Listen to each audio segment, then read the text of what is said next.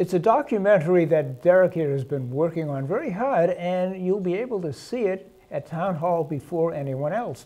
Here's a special look at beautiful and bizarre William Baker's Ridge Hill Farms.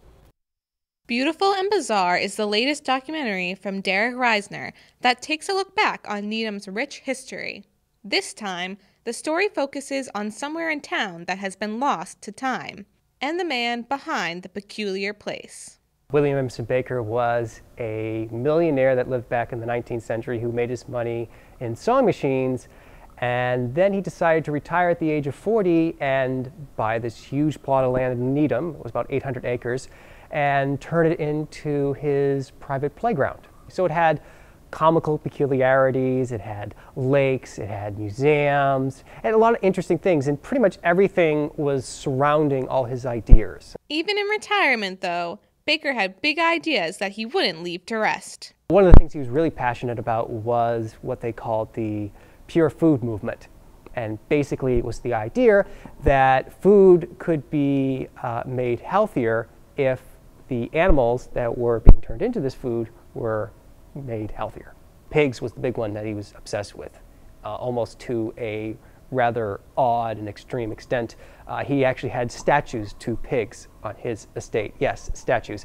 Um, and obviously, people even back then thought he was a little weird. Very weird. He had, had a very almost childlike way of wanting to bring his points about. He couldn't really help himself when it came to just goofing off. Not everyone agreed with Baker's radical lifestyle, though, especially town officials of the time.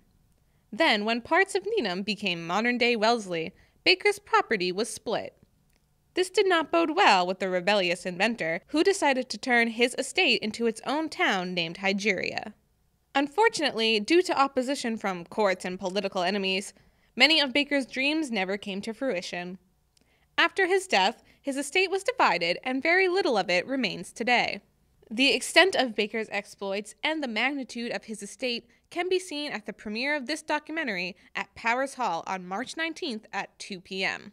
It's the story of the man, but it's really also the story of the estate, probably even more so, and uh, you know, in a celebration of what it was, and also kind of a memorial to the fact that it's gone now. It's a very interesting story into uh, sort of the life of an estate and the life of a man who was trying a lot of things to change America. I think it's a fun documentary. I had a lot of fun with it, and I hope people will have a lot of fun with it and they'll learn something about the history of their town. For the Needham Channel News, I'm Jillian Tedesca.